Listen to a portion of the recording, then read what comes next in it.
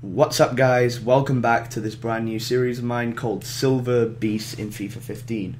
And today we're going to be looking at a new player to the game. His name is Hachim Mastour.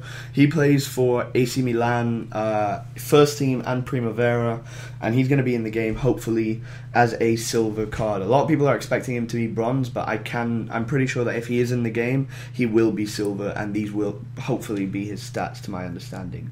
So the first thing that you'll notice is he's got 76 dribbling uh, which is 75 ball control and 76 in-game dribbling, which is pretty good for a silver player. Uh, he's also got 73 pace. Uh, his shooting is quite nice. He's got 61 finishing. Uh, his long shots are 65. His shot power is 58. Uh, he doesn't have many other great shooting stats, but he's quite well rounded. Uh, his passing's okay. He's got uh, long passing of 57, short passing 64, and um, crossing of 50, which is why it's so low.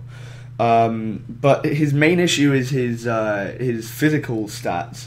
He's only got 38 strength um, and 52 stamina and 43 jumping, so he's not going to be great physically. But he's got 78 agility and 77 balance, so he might just be able to hold on up in the uh, in a standing position while he's running.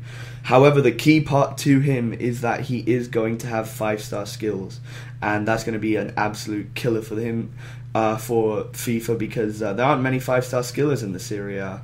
And uh, I firmly look forward to using him in the game because I think he's going to be a really good silver player. He can link up with a lot of uh, players.